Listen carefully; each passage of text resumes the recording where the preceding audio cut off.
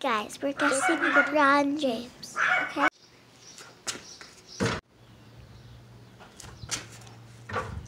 Okay, the hit is he's bald. Okay, your character is on the Lakers.